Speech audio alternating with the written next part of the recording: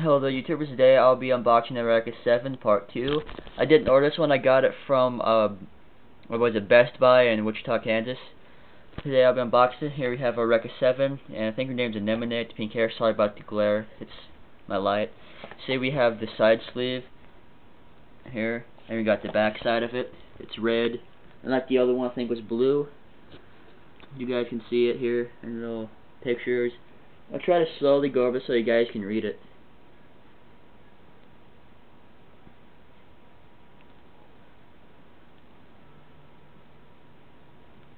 There you go. Just so you guys can read it. And the extras on it. Alright, that's it's in English and Japanese.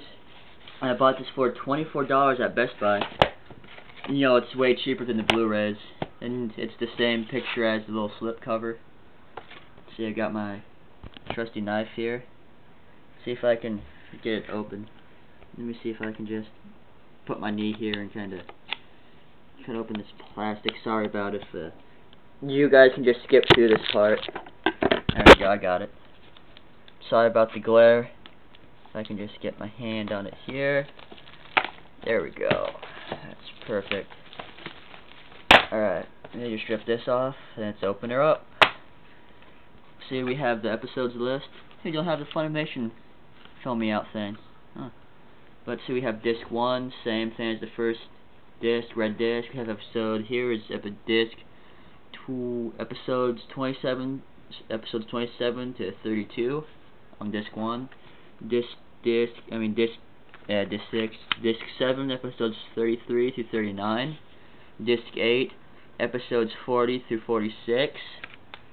And then disc 9, episodes 47 to 50. And here's just like a extra disc here. Let's see if you can get to see what that the picture is. Now you just got the AO right there. The Nirvash AO. I remembered what that name was because I watched the first season. Let's just pop this out. As you guys can see, it's just the, the Nirvash right there. It's the name of the giant mech. Let's put this back.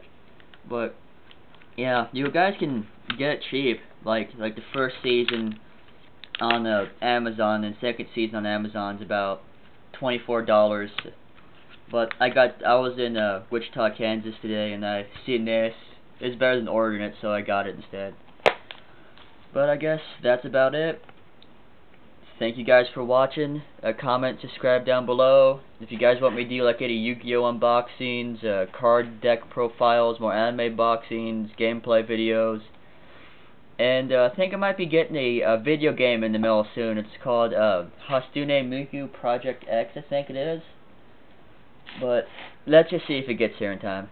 Uh, peace, and uh, comment, subscribe below, and thank you guys for watching. Peace.